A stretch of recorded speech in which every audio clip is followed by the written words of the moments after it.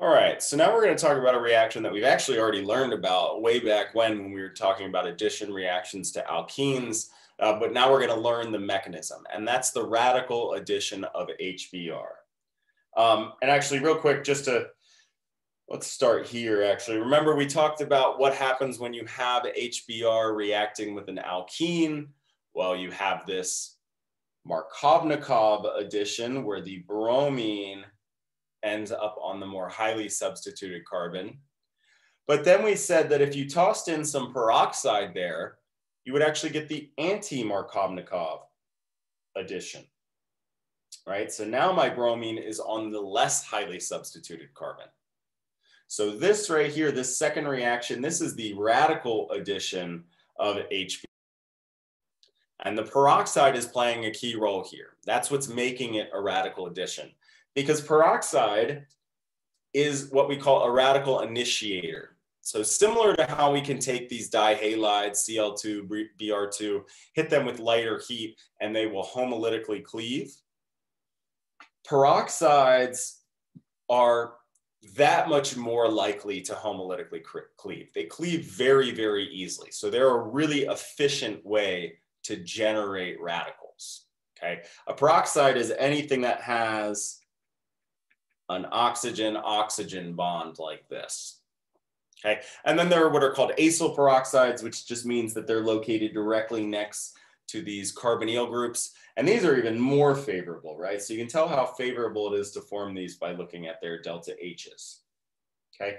Um, yeah, so I mean, uh, yeah, acyl peroxides are great. Alkyl peroxides are just as good. But by adding this peroxide into the solution, we're sort of ensuring that it's going to be a radical reaction because this initiator will go on to react with any HBr that's in solution to create a radical. Okay, so let's take a little bit look, uh, more of a look at that mechanism here. So again, the first step, our initiation step, is going to be to create that radical by homolytically cleaving that um, peroxide. Okay, so that gives us right? It's an initiation step. So we start out with no radicals and we've generated two new ones. And then this will go and react with um, HBr in order to eventually form your bromine radical. Okay. So what we see is that there is a hydrogen abstraction of the from the H uh, uh, yeah from the HBr and by the uh, peroxide radical.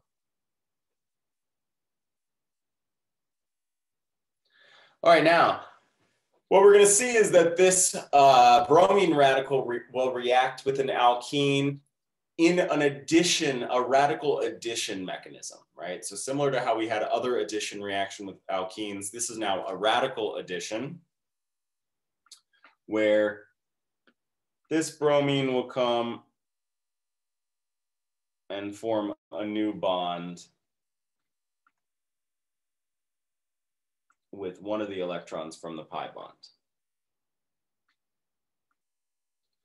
All right, but now the question is sort of like, well, which, what right, there's two electrons in this pi bond here that I've just broken. One of them I'm saying is gonna go to form a new bromine carbon bond. Where does the other one go? It can either go onto this carbon here, and that would form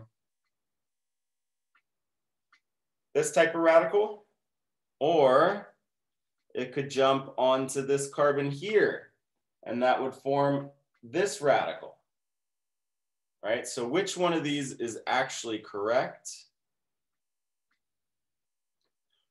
Well, remembering back to the beginning of the chapter, which one of these radicals is going to be more stable? It's going to be the tertiary radical. Tertiary radicals are more stable than secondary radicals, and thus this is the radical that we'd expect to be favored. So when this bond cleaves, that electron jumps onto that carbon. Secondary radical, not as stable, so it's not formed. Okay, and notice that this is how we have this anti-Markovnikov addition because the radical formed on the more highly substituted carbon, bromine went on to the less highly substituted carbon. okay? Um, so that's the next step here is going to be this addition of bromine to our pi bond, homolytically cleaving that pi bond and creating our radical. Okay, so that is the uh, an addition um, or radical addition to an alkene. That's the next step. And then the last one are the, you know, the next step in propagation rather is now that radical reacts with HBr through a hydrogen abstraction. So removing that hydrogen and again creating that bromine radical. Right, so we started out with a bromine radical. We had an addition to the double bond and then a hydrogen abstraction of, of HBr to now create another bromine reaction. So these are these initiation steps I'm starting out with a radical on one side and generating another the other side. And then finally, this reaction will finally end when two bromine radicals find one another and couple in that termination step.